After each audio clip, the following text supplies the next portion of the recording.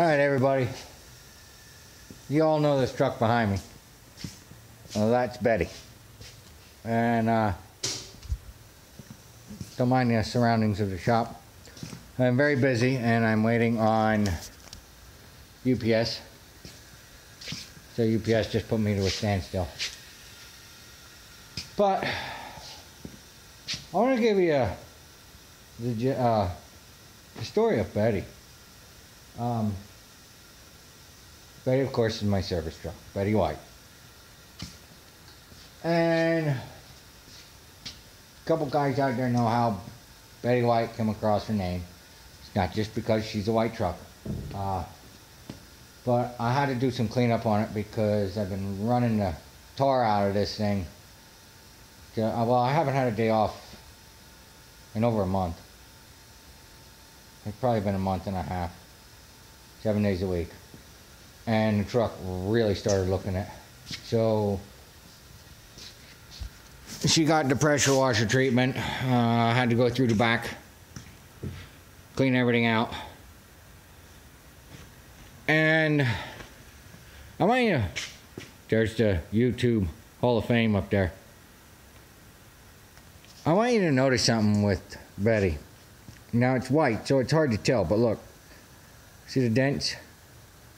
The door's dented. Dents, dents.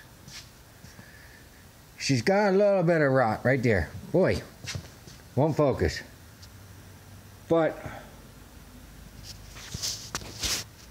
there isn't a panel on this truck that doesn't have a dent in it. Betty's my workhorse. I got Betty out of Williamsburg, Virginia. Uh, and the reason I'm telling you this, telling you to run down on Betty is because I've had people tell me, "Why didn't you get a new truck? Why are you running that old piece of junk? Uh, how you turn a profit? All kinds of comments, not not just comments, not not YouTube comments, but just guys that I end up on job sites with. So I'm going to explain to you why I have Betty. Uh, Betty was, I bought her out of Williamsburg, Virginia.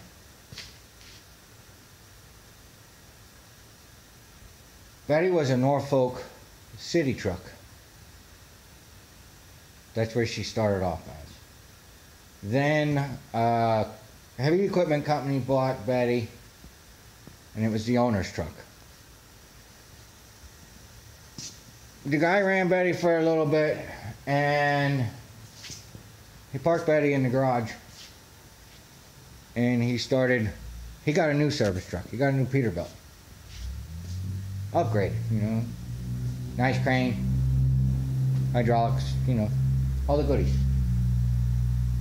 Well, Betty sat in the guy's garage, I believe he told me three years, untouched. And I was looking to buy a service truck.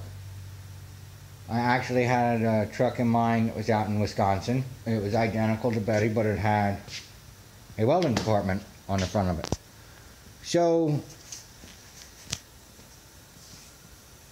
I was looking for a service truck and I found Betty on the computer. And I ended up buying her. I drove down. Never, I never saw her. I saw five pictures. Uh, took the truck and trailer down, and bought her right then and there. Loaded her up on the trailer and brought her home. So, people want to say, why do you drive around in an old truck like that? I'm going to explain something to you. I paid more for that welder than I did for the truck. Okay? Now, everyone says about, why are you driving an old truck? Don't you have something new? Betty's rough, but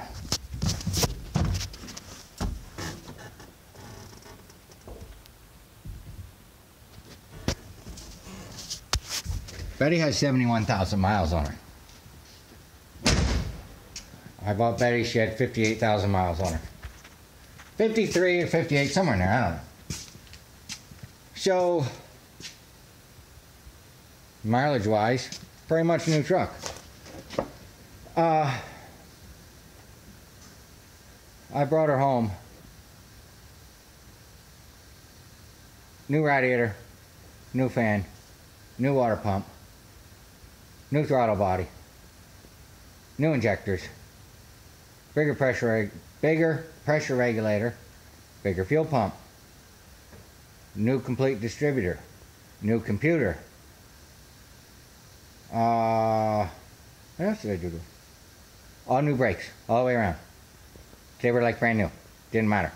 All new brakes all around. New brake lines all the way around. Betty has no rust underneath. None. Got rid of the exhaust on Betty. Had to make her breathe. Now, I'll tell you a little bit about her. Betty is a gasser. That's why she got a new distributor. Um, it's a 366 big block. Has four speed Allison in it and 617 rear in it. She's not the fastest thing in the world. She don't climb the hills fastest, but she'll move anything off the start. She'll just pull like you wouldn't believe. The truck was brand new. It was just a 1990. It wasn't used. You know, it wasn't used hard. When they had it, to beat the tar out of the body on it, you know, looks wise. But she just, she goes and goes and goes. And for what I have into her, it's kind of like a no brainer. Now, people wonder, why do you have a gasser? Why do you have a gasser? Well, to tell you the honest truth, she still gets about eight miles to the gallon, which doesn't seem like much, but put that in comparison to a fully loaded diesel service truck. Pretty much right there. And also, if the motor ever comes apart, I can drop a crate motor in for less than half of what that diesel cost. So, yeah, that's that's the story on Betty. That's how I ended up with her. I drove down, picked her up, coldest day of the year, and uh, I used a pettibone to push her up on the trailer. But that's how I acquired Betty, and that's how she came to be. So yeah, she might not be the prettiest. She's definitely not the newest. She's not the strongest.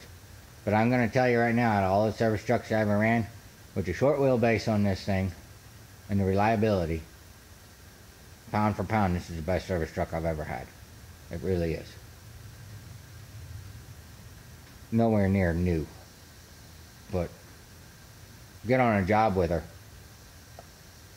That's the best gun I could have. I mean, that's that's my, that's my fighting partner there. You know. But yeah, she pulls her weight. So, but Betty got cleaned up today. I said I'm waiting on. I don't know why this thing's going out of focus. I think it's because there's glare. It's not used to seeing the glare coming off of Betty. But, all right, everybody. See you later.